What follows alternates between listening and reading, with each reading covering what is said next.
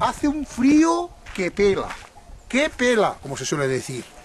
No sé a cuántos grados estamos, pero pensad que esto es el prepirineo, ¿eh? El prepirineo. Entonces, a mí me encanta el prepirineo. Pero claro, bien abrigados, pues tampoco hay problema, ¿eh? Ahora es el mejor momento para estar en una cocina, en invierno. Claro, porque se está calentito. Cuando yo hacía de cocinero, por estos mundos de Dios, recuerdo que en verano, en verano, sudaba la gota gorda. A veces la ropa interior, cuando había llegado a mi habitación, antes de proceder a ducharme, se podía escurrir con la mano. No os exagero, no, de sudor. Claro, había que sumar los grados de la cocina más los grados exteriores. Aquello era una bomba explosiva de calor. Aquí y ahora, y en una cocina, pues a la fresca, claro, los fuegos calientan y el cocinero trabaja mejor, ¿eh? Porque os voy a decir una cosa, cuando el calor aprieta, los ánimos de la persona que cocina van en decadencia, ¿eh? Porque claro, quieras o no, no trabajas a gusto. Pero bueno, hay que pasar. La vida tiene esto, oscilaciones. Tiene cuestas, tiene bajadas, cuestas, bajadas. Y en definitiva, esto es lo que hay. Hoy vamos a preparar unas suculentas merluzas. ¿Veis? Estas son congeladas, pero, pero, hay que tener en cuenta que antiguamente el congelado, estamos hablando de muchos años atrás, sí que a veces no estaba en perfectas condiciones, había de todo, claro, había de todo. Pero hoy sí. Hoy, hoy, en alta mar, ya se congela prácticamente. Se pesca y se congela, o sea que es un pescado. Hoy en día nos merece la máxima confianza. Hoy haremos lo siguiente. Por cada pescadilla, pescadillas si son de ración, esas pequeñas, pero en este caso es merluza, es grande, ¿eh?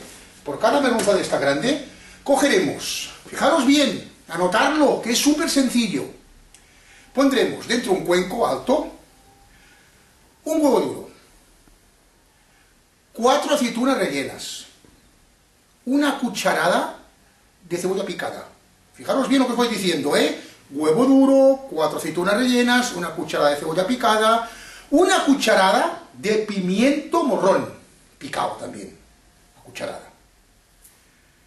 Pondremos también una puntita pequeñita de laurel triturado, pero nada, una uña, ¿eh? Muy poco. Pondremos un chorrito de aceite, chorrito. Una cucharadita de pimentón dulce, unas 7 u 8 gotas de vinagre, y eso lo trituraremos todo, con el turmix. Primero, lo que haremos será esto, fijaros bien, aquí tenemos unas patatas, ¿veis? Patatas, que estas patatas ya están hervidas. Las patatas las pelaremos con una puntilla, se pelan, y una vez peladas, porque ya están hervidas, las pondremos de base, gordas, ¿eh? Sobre todo que sean gordas. Las pondremos de base de la bandeja de horno, de hornear, ya hervidas, pero que sean gordas, si no se nos van a deshacer. Sal, pimienta, blanca o negra, la que queráis. Encima la merluza, sobre todo, acordaros que las patatas sean gorditas, ¿eh? si no se nos desharán, porque nos interesa que paralelamente se haga igual que la merluza. La merluza, le habremos hecho unos cortes, ¿veis? Fijaros aquí cómo tiene unos cortes, ¿lo veis? Para que se haga mejor. La pondremos encima de las patatas, chorrito de aceite, golpe de horno, arriba no, porque si no se nos va a tostar. Si os va el horno de arriba y abajo, poned papel de aluminio, así evita que se nos queme de arriba, por la parte superior. Horno precalentado a 180, 190, 200, depende del horno. Pondremos la merluza dentro con las patatas de base, tal como os he dicho. Al cabo de 20-25 minutos, depende del tamaño de la merluza, pero normalmente con un cuchillo, con dos tenedores separamos y vemos que se nos desprende la espina de la carne, es que ya está. Y después le pondremos por encima el triturado que os he explicado. Ya veis qué fácil, ¿eh? Que os, que he explicado antes, por encima de la merluza. Cuando la merluza esté, cuando ya esté hecha, pondremos de nuevo 4 o 5 minutos todo el conjunto y Santas Pascuas. La clase de hoy Es una clase digna del paladar más exigente, como siempre. ¿Cómo trabajamos? Todo el equipo, todos los alumnos están trabajando con ganas. ¿Ves? Cada uno hace su cometido. En una cocina hay que estar bien organizado, ¿eh? Bien organizado en una cocina. Bien la organización es vital. Cada uno, si uno trabaja de cocinero solo, obviamente, veis aquí estamos haciendo masas, un día os la enseñé cómo se hacía, ¿eh? ¿Lo veis? Es importante la organización. Ahora, cuando uno trabaja solo, pues tiene que hacer de todo, ¿eh? Pero si hay una brigada, pues cada uno tiene que hacer su cometido. Y siempre empezar con lo más difícil, no difícil de, de costoso, sino de tiempo. Hay que hacer espaguetis, pues agua hervir. ¿eh? Si tenemos que hacer algo en el horno encendido, antes que nada. Y así se trabaja.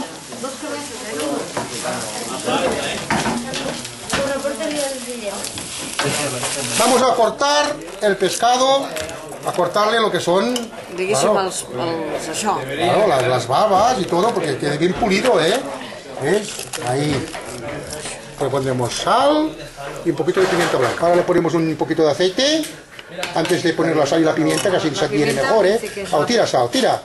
Sin miedo, sin prudencia, sí, ¿eh? Vale?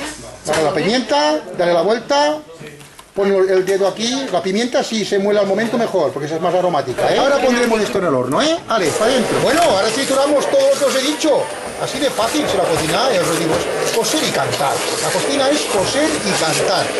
Ahora se tritura todo lo que os he dicho en un principio y lo pondremos después encima de la merluza cuando esté en hecha, ¿eh? Vale, sigamos. Bueno, aquí estamos ya unificando todos los ingredientes que os he dicho en el principio del vídeo, ¿eh? Como está muy clarita, ¿eh? ser, vamos a poner unas patatitas, ¿eh? las mismas hervidas, para que nos ligue. Pon más patata, pon, pon, que nos admite más. También podéis poner pan, ¿eh? pan, miga de pan. Lo importante es que nos quede una cosa prácticamente como tipo crema, que no nos quede tan aguado, ¿eh? Eso sí, de, sabor está buenísimo, pero que nos quede más, más unificado, más unido, más ligado, en una palabra. Vale, ahora lo pondremos encima del pescado cuando esté. Bueno, ¿veis? Ya se despega, se desprende lo que es la piel, ahora napamos, ¿veis? Napa, eso se llama napar. Pon, pon, napa bien, que esto es la gracia de este plato. Napa ahí, muy bien. Napa más, napa más, napa más, que se caiga por los lados, no pasa nada. Sí, napa, napa. Y ahora aquí, y ahora aquí, ¿eh? Y ahora aquí.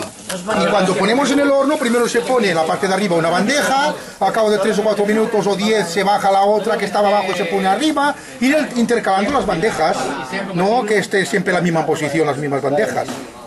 Y ahora continuamos al horno. ¿Veis? Ahora hemos pasado aquí por harina y huevo, un calabacín pero cortado a... Fijaros el calabacín como está cortado, alargado, ¿eh? Primero se corta rodajas largas y después a tiras. Mirad, ¿eh? Esto ponemos de base, ¿eh? Para el pescado. Esto aquí encima no se puede, ¿eh? Podéis ponerlo siempre encima de platos, porque queda muy feo esto por aquí encima, ¿eh? Encima de platos, que puede venir un cliente que viene a visitaros y ve las cosas por encima y queda feo.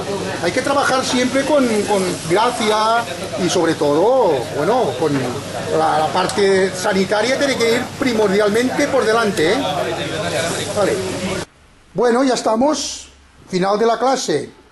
De los nueve platos que hemos hecho en la escuela en el día de hoy, habéis aprendido uno, porque poco a poco se van aprendiendo todos. Pero claro, eso requiere un tiempo. Aquí tenemos uno y aquí tenemos otro. El plato que habéis aprendido, ¿veis? La merluza en el centro. ¿Veis qué bonita? Bordeando, bordeando el calabacín, cortado a tiras, a tiras súper finas, pasados por harina. Ya lo habéis visto, ¿eh? ¿Veis? En los extremos las patatas. ¿Veis? Y un poquito más de guarnición.